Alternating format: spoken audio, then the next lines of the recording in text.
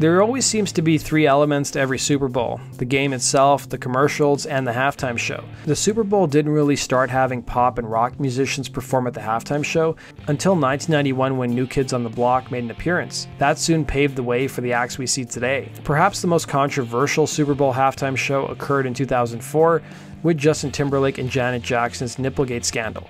It was following the 2004 Super Bowl halftime show that the NFL thankfully took a break from pop acts, enlisting rock musicians including Paul McCartney in 2005 and the Rolling Stones in 2006. 2007 would see musician Prince perform at the halftime show, but Prince's performance could have went awry.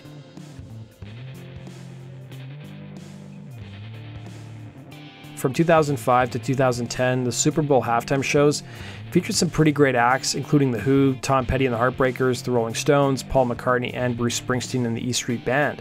Perhaps it was a pivot by the NFL to recover from the fallout from the 2004 Super Bowl and attract more baby boomer friendly acts. Charles Coplin, the executive producer of the halftime show, would tell The Ringer David Saltz, who was a producer who worked with the NFL and ABC, was hired to go out into the music community and ask around and sort of say, hey, we're building this franchise.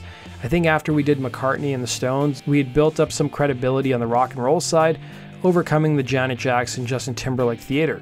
There were so many things about Prince that we liked between his catalog, the fact that he was a performer, the fact that he appeared to a diverse group.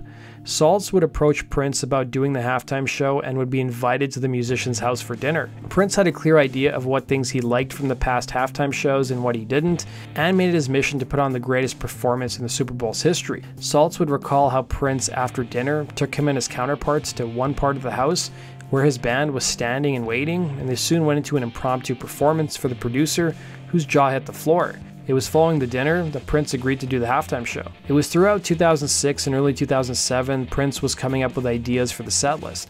The plan was for Prince to do a medley of four original songs and four covers over a span of 12 minutes. Ruth Arzate, Prince's personal assistant, would tell The Ringer what followed. After David Saltz came by the house and Prince put on that half hour private show, he began to compile music. He asked me to retrieve a list of CDs every Tuesday when new music was released, but he added some Foo Fighters albums, Santana, Hendrix, and Nine Inch Nails. I think he was playing with the idea of mixing up some of those artists. I made him mention that I loved the Foos, and I heard them doing Darling Nikki at a show once. He said the Foos are the only band that could do a collection of my rock songs justice. I replied, Oh my gosh, that would be amazing. He then said, You wish. I responded with, I do, I do. He made a smirky face and dismissed me from the office.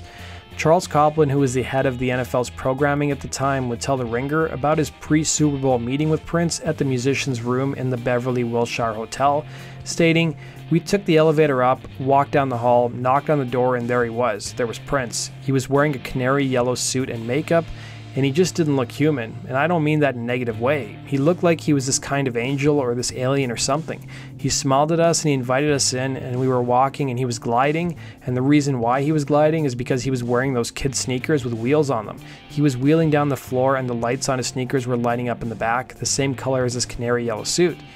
The NFL executives would be nervous over what exactly Prince was going to perform. Would he be playing his hits, they wondered? Prince would play the executives' covers that he had planned for the Super Bowl, including Queen's We Will Rock You, Bob Dylan's All Along the Watchtower, and CCR's Proud Mary, as well as Best of You by Foo Fighters.